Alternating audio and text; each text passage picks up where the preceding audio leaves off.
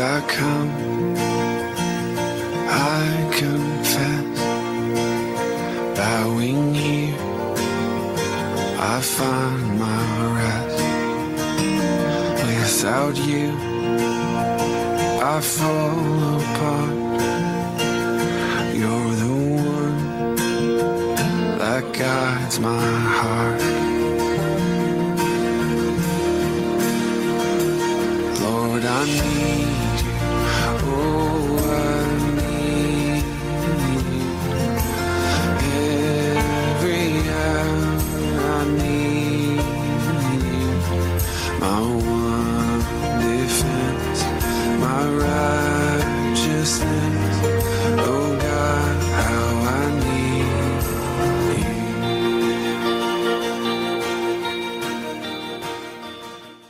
Good morning, everyone. Welcome to the English devotional from Soldiers of the Cross. We will begin with our opening prayer. Dear Father God, I come before you in this hour asking that you forgive me of all of my sins, that you cleanse me of all of my impurities and all of my faults, so that you can hear this prayer that I bring to you at this hour.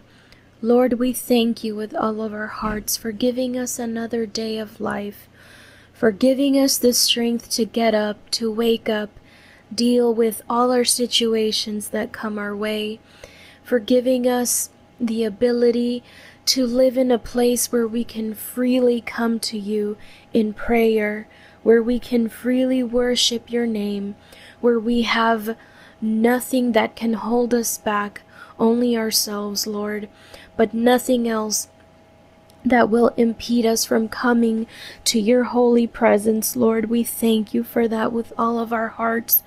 And I ask of you in this moment that you help us to always be willing to come to you, to always be willing to get on our knees, lift up our hands, and come and pray to the God Almighty who has all the answers for our needs, who has all the consolation that we need in our deepest, darkest hours, for giving us the salvation, for giving us the freedom of, of sin, Lord, of not living tied to sin. Thank you for giving us that understanding and for letting us breathe and for letting us live in joy and in peace, a peace that only you can give, unlike anything that this world offers, Lord. The peace that you give is true and genuine, and we praise you for that with all of our hearts. Thank you, Lord, for being there for us and allowing us to cry out to you in our times of need. It's good to let go of all of the things that we hold inside, but sometimes we don't have someone that we can fully trust, or we don't want to talk about it because we're ashamed. But thank you, Lord, because you're always there to hear us out. You're always there with an open ear, giving us all your attention. Praise your name for that, Lord. And it's amazing that you, the Creator and Lord of the universe, would take the time to listen to us and care about what we have to say. That you want us to come to you, Lord. That is simply amazing, and we glorify you for that with all of our hearts. God, there are things happening around us that we probably don't understand, and some of these things may make us feel weak or helpless or afraid. But if anyone is feeling remotely anything, any of those things, Lord, we ask that in the midst of this, we always proclaim your name and acknowledge your existence and your power, and that you have the situation in your hands. So let us completely put our trust in you, no matter what we are going through. Lord, we seek you for that strength and for that wisdom, so that we're able to endure any situation and able to handle it in a way that would bring that would bring glory to your name, Lord, that we not try to take care of it by our own means and by our own ways, Lord. Forbid that because we don't know anything, we are nothing without you, Lord. We ask that you take full and complete control of our lives, even if that means that we have to sacrifice our wants and what we want to say and what we want to think, Lord, and what we want to do as humans and in our human nature, Lord. We we resign from all of that, Lord, because we want to follow you in your footsteps.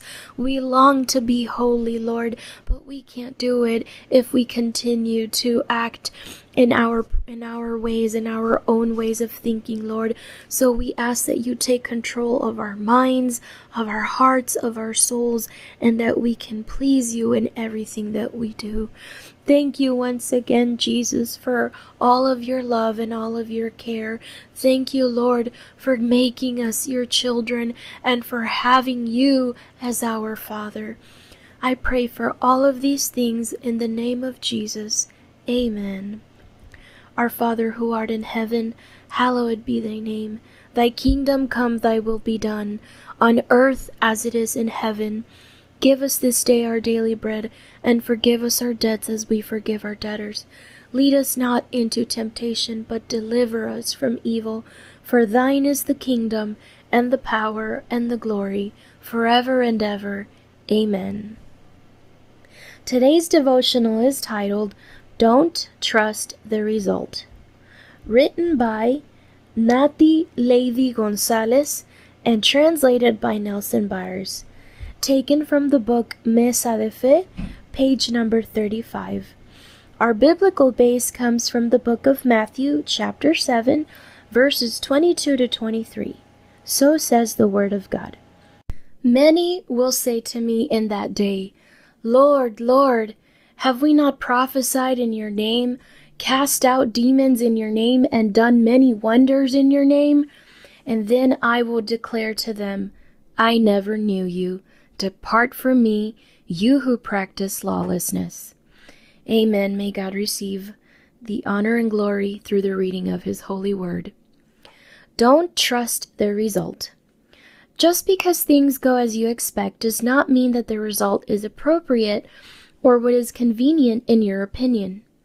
In the chosen passage, the rock gave the water that it was expected to give, but Moses did not give glory to God, and that cost him not to enter the promised land. Therefore, do not consider anything approved or not by the result. A good grade on a test may be fraud committed by a student, the final result is not always the real visualization of the state of those who have to do with it. The most worrying thing is that the same thing happens in the spiritual life. Praise, a message, an amazing manifestation of God through a certain brother does not necessarily mean a pleasing offering to God. Keep in mind that to whom Jesus will say on that day, I never knew you, will be people who had prophesied in his name, cast out demons, and performed many miracles. Jesus says, You will know them by their fruits. But those fruits are not what we think. Those fruits are like those that emanated from the life of Job, who, in the midst of his affliction, expressed, The Lord gave, the Lord took away.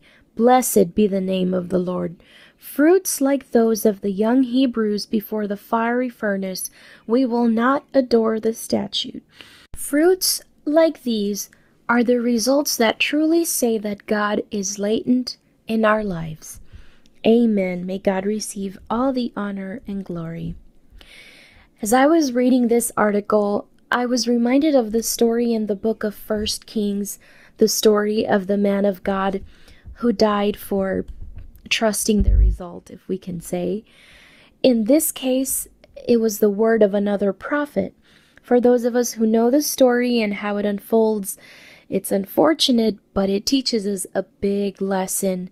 For those who are not so familiar with the story, in summary, a prophet used by God to reprimand King Jeroboam was clearly commanded by the Lord that once his job was done, he was not to stay in Bethel, I believe was the place where he was sent to speak.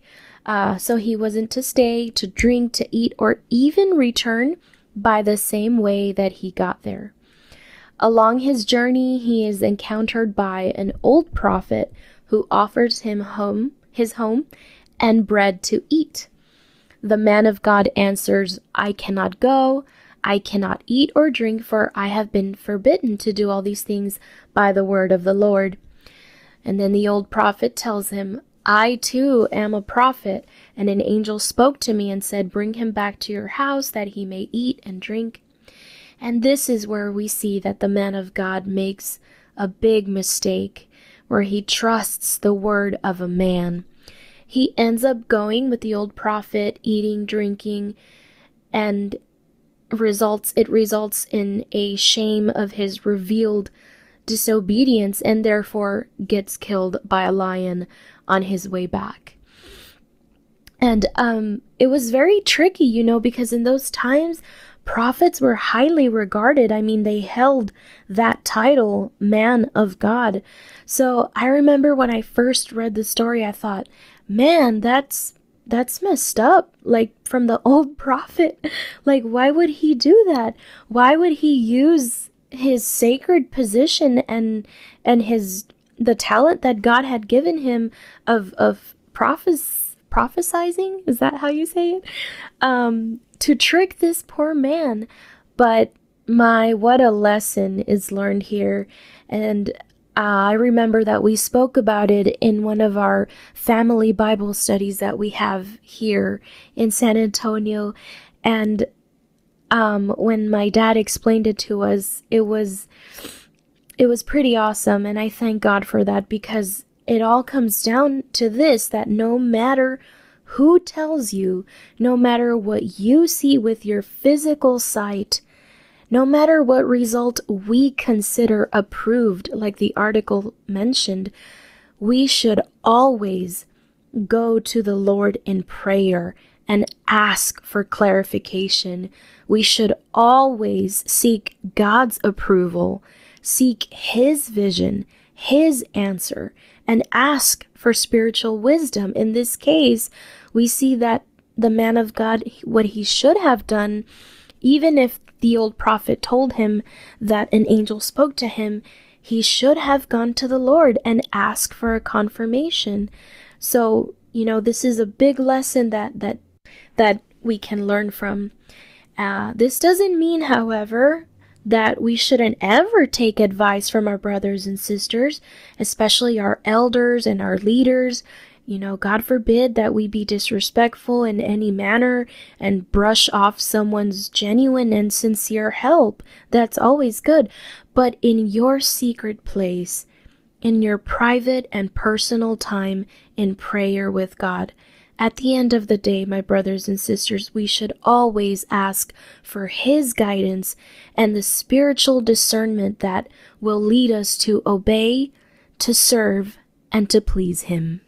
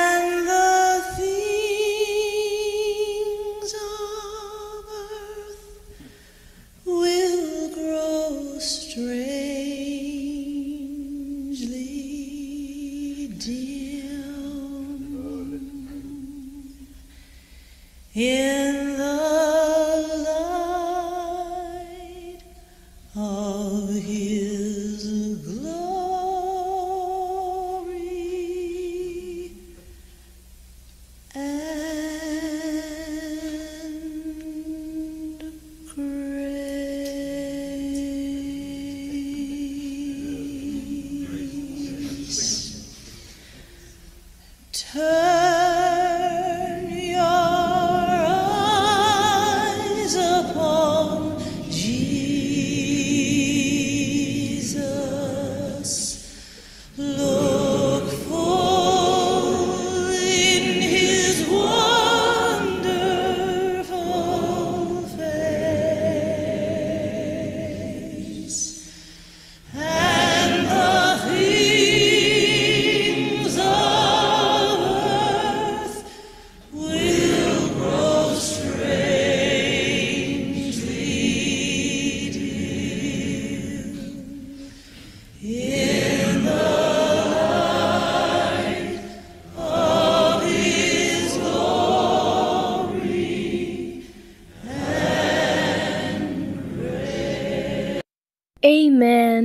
Short and sweet hymn.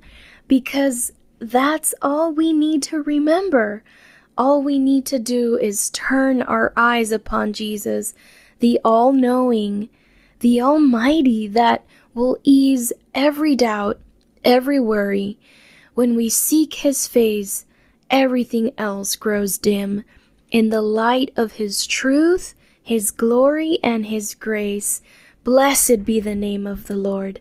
My brothers and sisters, I pray that you are blessed through this devotional and that your day is full of His light and His guidance.